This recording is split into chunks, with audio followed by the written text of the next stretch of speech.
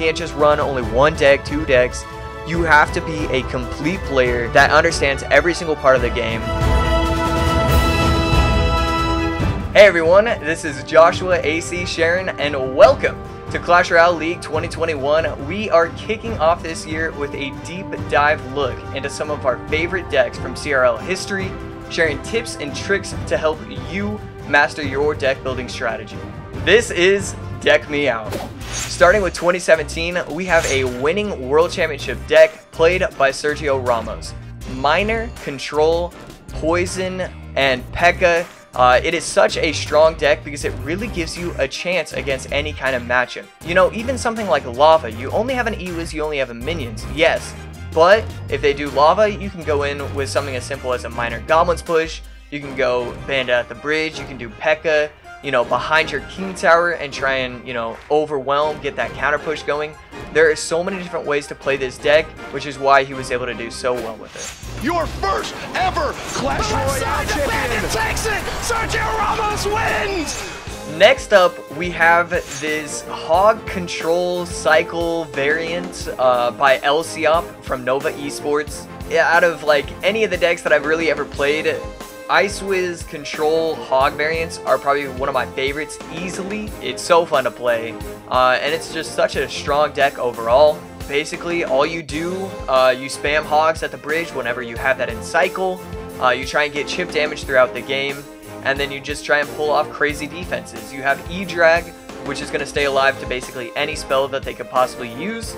And so when you spread out your E-Drag, you spread out your Ice Wiz, and you get those Tombstone Nado defenses, you kind of flip the script, you kind of flip how the matchup is getting played.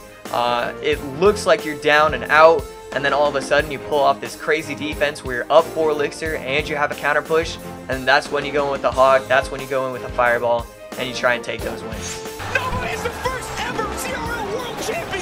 And now we have 2019, Surgical Goblin, aka the biggest name in all of Clash Royale history, running Splash Yard. You have it again, you have Icewiz, you have Nado, this time it's Baby Dragon instead of E-Dragon, and this time instead of Hog Cycle, you're going Graveyard. In the, the 2019 meta, uh, Graveyard was unbelievably strong. The reason why pros love running it is it's all about outplaying your opponents, giving yourself a chance to win no matter what you're going against. You go in with Knight Graveyard, and then he has this really strong counter push, and then again, you know, you go in with the Icewiz, Baby Dragon, Nado.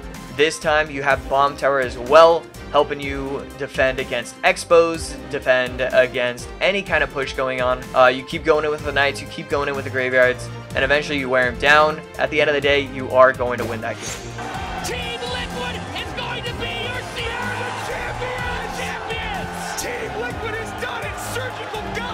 Takes home the title! And finally, we have the year 2020. Ruben from Team Queso running a Mortar Graveyard. I mean, here we have it again, Graveyard. These players can just focus on trying to understand what their opponents are running, and then that's how they win the game just by reacting. 20 seconds into the game, they already understand how they have to win that game. Uh, the other thing is with this deck, when it's a 1000 HP on both towers, that's when you can really turn up the heat. Triple Elixir is where it gets crazy. You always have a Mortar down on offense, you always have a Graveyard coming down.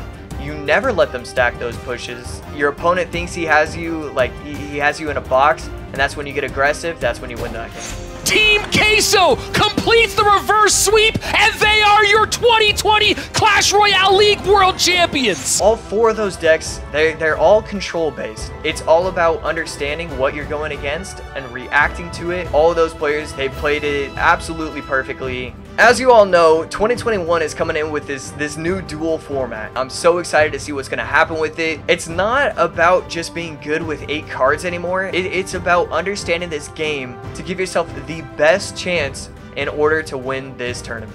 Thanks for watching. Be sure to tune in next time for more tips and tricks. My name is Joshua AC Sharon, and this is Deck Me Out.